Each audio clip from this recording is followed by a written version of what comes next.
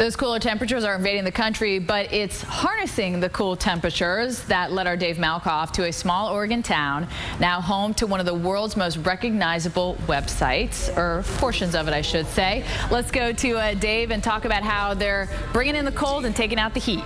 Yeah, good morning, Stephanie. Alex Witt was just talking about how there's a billion people on Facebook with everybody commenting and posting photos at the same time. It really heats up a giant computer room in Oregon. Take a look.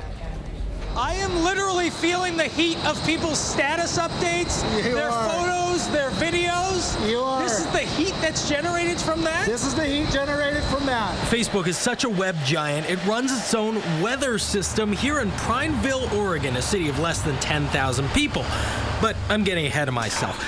First, you got to understand what Facebook, what the internet actually is. And it's not what you think. Uh, so a lot of people talk about the cloud, right? But they really don't have a fundamental understanding of what the cloud means. It's, it's not manna from heaven. Nothing on Facebook's cloud exists up here, it exists down here.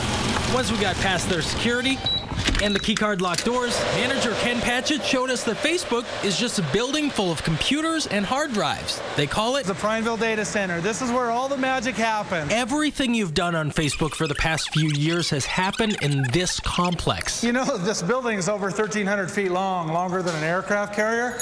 So if you forget a part, you don't want to walk for it. You want to ride your scooter for it. It's like a giant locker room where every Facebook user has their own space. Right here, right on this My server. Facebook page could be right here. It could, it could be right there. Now, data centers use a tremendous amount of power. The solar panels out back can only run a small office space.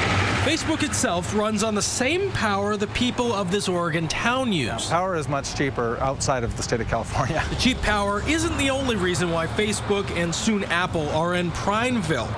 The crisp Oregon air cools down the servers that run hot in a world that's constantly checking Facebook. We've decided to let Mother Nature in. New kinds of computers have allowed them to cool this place with no air conditioners, just a giant system of fans Go ahead and do this. You want to feel the pressure.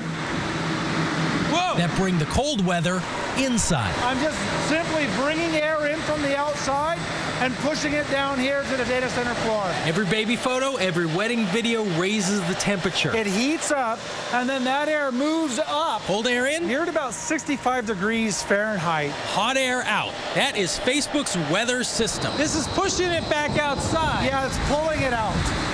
It is loud in there, huh? But not as loud as most data centers that use a ton of electricity to run industrial air conditioners all day, all night. This one is different because they use the weather. Coming up on Monday, we'll show you how Facebook is giving away its secrets, hoping to make the entire internet more green. Steph?